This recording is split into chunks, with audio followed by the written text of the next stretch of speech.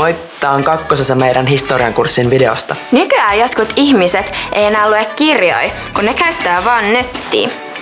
Mut me haluttiin mun isotädin Taaten kanssa ottaa selvää, että kuinka paljon netistä löytyy tietoja vanhoista ajoista. Mites sulta eilen sujuu sen tietokoneen käyttö?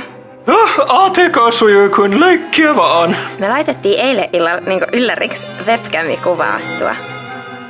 Mitä? Missä? Milloin? Ei pidä paikkaansa. Joo joo, me kuvattiin sun työskentelyys eilen.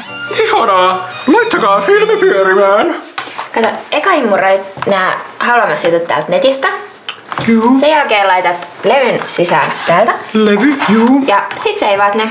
S- Seivaus, joo. Sit sä voit vaikka laittaa sun omia videoita verkkoon. Ahaa, Pärjälle. kiehtovaa. Hm.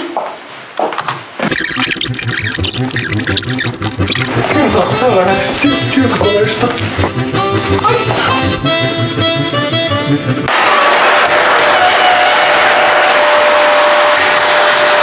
Maamme laulu, ensimmäinen painos. Laita levy asemaan.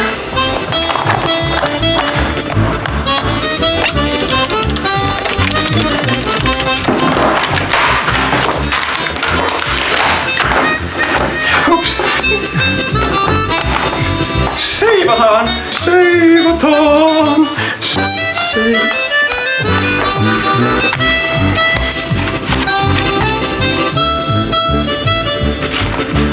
Mun läppäri, mitä vittu? Tilasin jo uuden CPn Stockmannilta, LSD-näyttö ja kaikki.